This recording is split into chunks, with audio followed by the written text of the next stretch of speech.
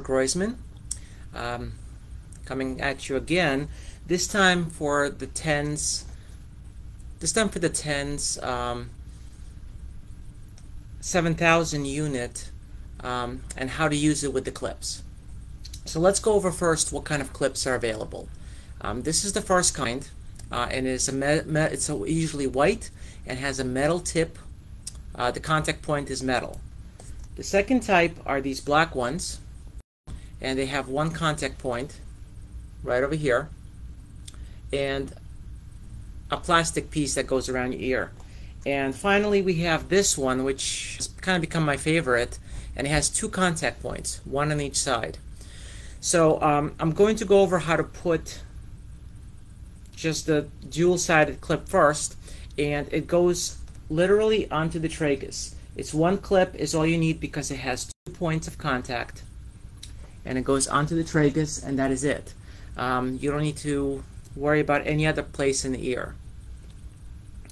That I think is the easiest way to do it. It doesn't matter if you put it in this way or this way. Uh, both both of the leads go in um, and it's going to be around the tragus and it's the most comfortable at least for me. The second type are these block ones where you would put the lead in here into the contact point. And the black lead in here. And again the first lead would go into the tragus. I hope you can see. And the second lead can be pretty much anywhere but I try to get it in as close as I can to the inside portion of the ear. And it's a lot easier to do in a mirror by the way than trying to do uh, by feel. Uh, and lastly, I'm not going to show this one, but um, they fit in similarly into the white ones. Um, the lead just slides right in, or normally just slides right in. There you go. Uh, and you only need two clips for for successful um, TENS stimulation. So let's go over the setup on the machine itself. The machine looks like this. When you turn it on and you do that by turning the little knob here this one uh, to at least one and it will beep. And what you want to set up is the pulse width to 250 that you just lab labeled as width. And the frequency